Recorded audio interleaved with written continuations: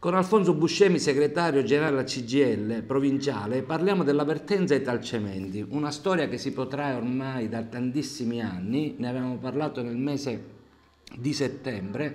L'altro ieri in prefettura c'è stato un incontro appunto con il eh, prefetto eh, collegato in videoconferenza da Bergamo l'amministratore di Talcementi, presente il sindaco di Porto Empedocle è ehm, l'amministratore della società che intende investire eh, su quest'area.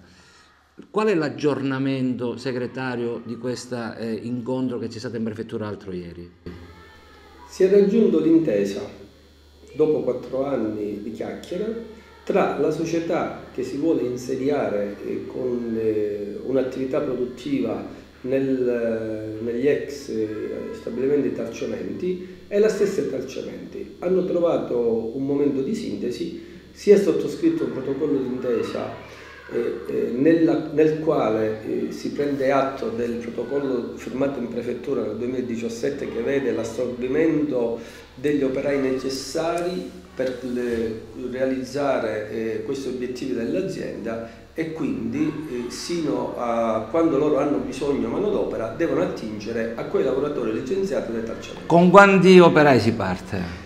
Nella prima fase ci ha spiegato l'amministratore delegato serviranno quattro lavoratori perché devono mettere in campo un cantiere e quindi man mano si inizia a lavorare, cresce l'attività si parte da un minimo di 4 per arrivare sulla base di quello che poi sarà l'attività a un numero maggiore. Ma che, che, che cosa farà?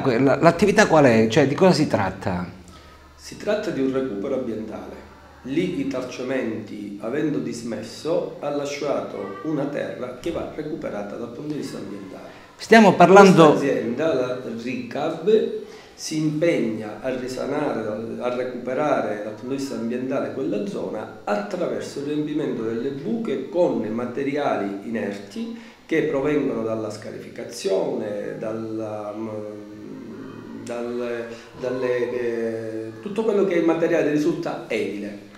Stiamo parlando quindi, hai detto segretario, che è stato firmato un protocollo d'intesa, quindi l'ha firmato anche il sindaco di Porto Empedocle? Sì, l'abbiamo firmato sia le organizzazioni sindacali che il sindaco, sapendo che quel protocollo d'intesa non assume nessun, eh, come dire, non, non viene assunto nessun onere a carico di terzi se non appunto delle due società che si impegnano reciprocamente a rispettare le cose che dicevo prima, una ad assumere e l'altra accedere a un prezzo eh, non di mercato perché c'è questo aspetto sociale che deve essere valorizzato. Magari a fine come dire, incontro poi ci si parla perché una cosa non ho chiaro, lo chiederò direttamente al sindaco per carità, ma lo anticipa a te la domanda.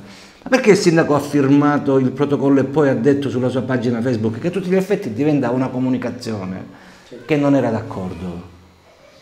Ma eh, più che non è d'accordo lei dice, lei dice che eh, non ha visto il progetto e quindi deve vedere il progetto. Che vuole che le dica? Il progetto, io mi occupo di questa vertenza da settembre, da quattro mesi. Il progetto per me è chiaro, il sindaco dovrebbe semplicemente essere felice di poter contribuire attraverso questo progetto a recuperare quella zona dal punto di vista ambientale e dare posti di lavoro.